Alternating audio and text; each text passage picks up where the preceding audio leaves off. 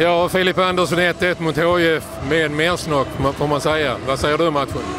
Ja, men det är en jämn tillställning. Eh, ganska bra chanser för båda lagen. Eh, ja, det är så man kan sammanfatta det. Jag tycker ni gör en fantastisk match.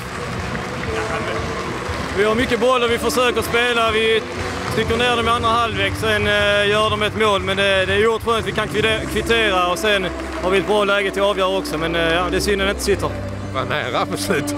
Ja, det var riktigt nära, men det, det är små marginaler tyvärr. Men eh, ja, det är enorm insats att vi kan vända. Eller, ja, verkligen, verkligen spelar ni nerifrån försvaret?